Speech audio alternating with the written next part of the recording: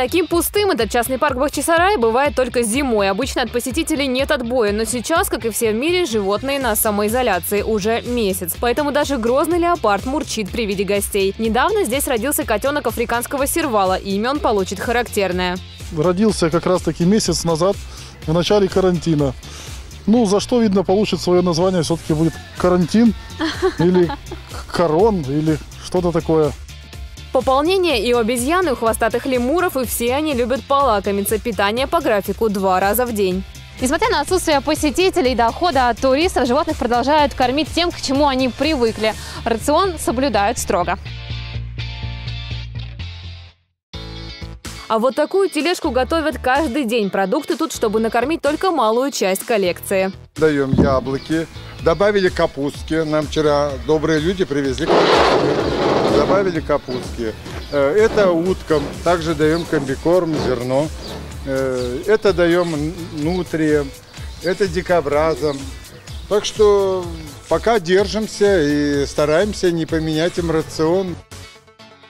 Только на мясо для хищников каждую неделю тратят 200 тысяч рублей. Сохранить стараются и растения. Здесь много цветов и кустарников, которые требуют ежедневного ухода. Так что отпустить садовников на самоизоляцию нельзя, как и других сотрудников, которые помимо основных обязанностей ежедневно уделяют время общению с животными. А это кошачий медведь, обитатель Индии, Таиланда. Очень много времени они проводят с сотрудниками зоопарка, это обязательно. А почему это важно?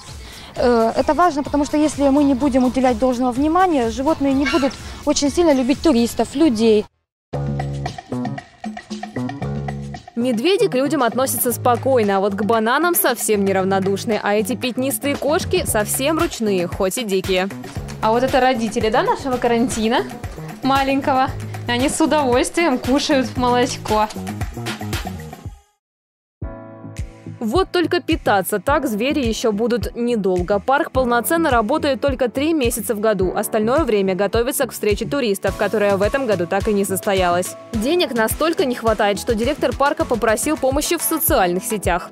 У нас еще не совсем предсмертное состояние, но мы чувствуем, что буквально на днях оно начнется.